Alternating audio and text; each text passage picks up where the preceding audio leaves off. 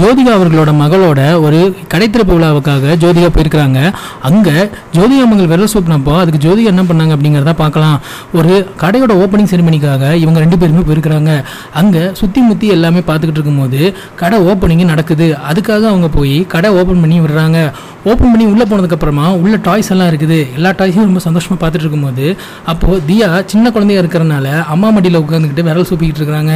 அதுக்கப்புறமா அப்படிலாம் விரல் சூப்பக்கூடாதுன்னு லைட்டாக அதட்டிட்டு அந்த அந்த கையையும் எடுத்து விட்டுறாங்க. அதுக்கப்புறமா ரொம்பவே சோகமாக அவங்க அம்மா மேலே சாஞ்சிக்கிட்டு அதுக்கப்புறம் போக போக டாய்ஸ் எல்லாம் வந்த உடனே ஒரு மாதிரி குஷி ஆயிட்டாங்க அப்படின்னு கூட சொல்லலாம். ஸோ இந்த வீடியோவை பார்க்கும்போது அவங்க அம்மா கூட எவ்வளோ அட்டாச்மெண்ட்டாக இருக்காங்கன்னு தெரியுது. இருந்தாலும் சின்ன குழந்தைங்க விரல் சூப்பும்போது லைட்டாக அதட்டி எடுக்கிற அந்த அம்மாவோட ஸ்தானத்தையும் அவங்க அந்த டைமில் கரெக்டாக மெயின்டைன் பண்ணியிருக்கிறாங்க அப்படிங்கிற மாதிரியான நிறைய கருத்துக்களையுமே நம்மளால் அதிகப்படியாக பார்க்க முடிஞ்சுது. ஸோ இதே மாதிரி ஜோதிகாவும் அவங்களோட மகளும் சேர்ந்தும் இல்லை தியா மட்டும் தனியாகவும் நிறைய அட்ராசிட்டி பண்ணியிருக்காங்க. அது எல்லாத்தையும் இப்போ நீங்களே பாருங்கள் Team B after three attempts are with one point. Dia, Dia to give it a try. Come on, come on, come on. Make it fast, make it fast. That's okay, you can just throw. If they if they actually hit it now, you guys will win. If you hit it now, you guys will win. Because they can't make it two. If you hit it, you guys win.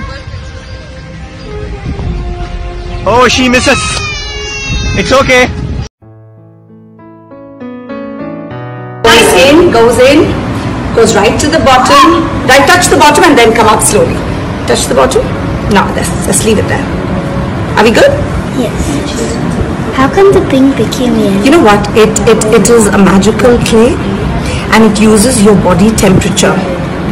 So when you put it, no, uh, take a little lower. That's good. Look up and smile. So tell me how you feel right now. How does it feel to have your hands in this Exciting? mold? It is. So is it exciting? Let's say yes. Is it? Yes. Yes. மேலும் இந்த மாதிரியான cinema நியூஸ்கள் பற்றின updates வேணும்னா நீங்கள் நம்ம தமிழ் சேனலை மறக்காமல் subscribe பண்ணி பக்கத்தில் இருக்க பெல் ஐக்கானையும் ப்ரெஸ் பண்ணிவிடுங்க